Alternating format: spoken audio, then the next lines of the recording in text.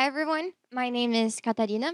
And actually, before I start, I'd like to show you guys some images. And I want you to think about the first thing that comes to your mind when you look at them. And also think about what those images have in common. Well, the first one is this one. Just take a quick look. This is the second one. Okay, and this is the last one. Well, I'm pretty sure that when you look at those images, everyone thought about the same stuff. For example, in the first one, something related to diabetes, and in the second one, something related to cancer, and in the last one, something related to hypertension. And well, you're right, but there's actually no right and wrong in this. The important thing here is to think about what those images have in common. And well, I could think about four main points. The first one is that they are diseases. And yes, that's pretty obvious, I know. Another thing is that they have no cure. There are treatments like chemo and insulin application, but there's no actual cure for them. Um, they have a really high mortality rate. And of course, if they're not treated correctly or not at the right time. And the last thing that I think it's really important is that many people live or have to deal with them in their lifetime. Maybe someone in your family has it, or someone in your friend group, or someone that you just barely know. And even though this doesn't happen, you just have a really clear idea in your mind of what they are. Well, I'm sorry to disappoint you guys, but I'm not here to talk about none of these diseases. Actually, I'm here to talk about another one that has all of these four steps. Well, not the last one, because people don't actually talk a lot about it. But, well, what if I told you that this disease that I'm about to talk about kills one woman every 62 minutes? Yes, those are lots and lots of people.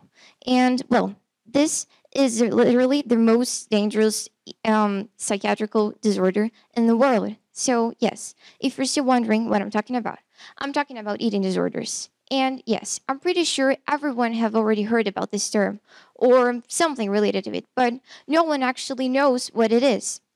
And well, we don't know what it is because our society has normalized it.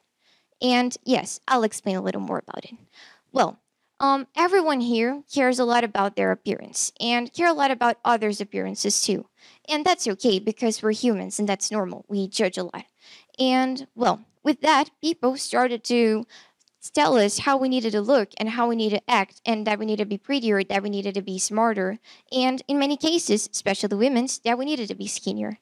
And that's the, where the problem really begins. Because since like always, our society has imposed to us a pattern a standard, precisely a beauty standard. And well, this standard that they impose to us, it says that if we don't follow it, we can't be happy, we can't be liked, and we don't belong in our social group. And they've applied that in every single thing that people consume. For example, look at those fashion shows. I mean, they're totally um, patronized. And those movies with Disney princes, they're all the same. I mean, same bodies, same perfect faces. And, well, look at those magazines. I mean, I don't even need to say anything about them. Um, well, this this constant representation of this stereotypical and unrealistic beauty only increases the pattern our, that is imposed to us in our society. And well, people who don't fit in start to feel bad, start to feel unloved, and and literally like if there doesn't belong inside like the friend group and stuff.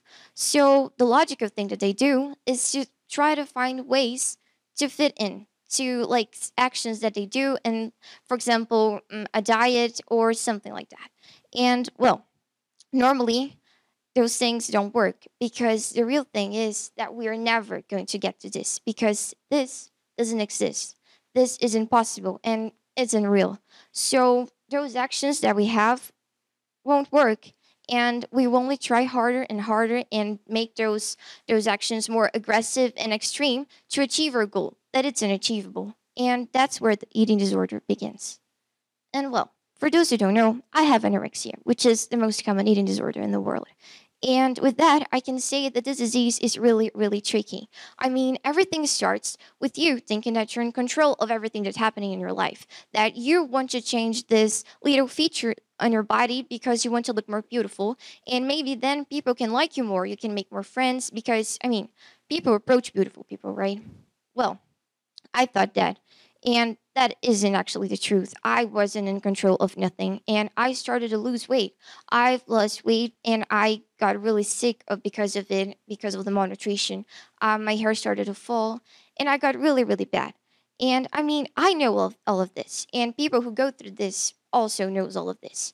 And I'm pretty sure some of you guys are asking yourselves, think like, if you know what is going on with you, why you just continue doing this? I mean, what is the real problem and gaining a little bit of weight? Why don't you just let it be what it is, what is it is going to be? I mean, why do you care so much? Why don't you stop? You make those questions, and the answer is we don't stop because it is a disease. And there, I mean, it's not a behavior that we have. It, we can't normalize this behavior. We need to think about that as we think with a diabetic, for example. You don't tell a diabetic to lower their glucose or a hypertensive to lower their pressure. So you can tell an anorexic to eat or to stop doing that.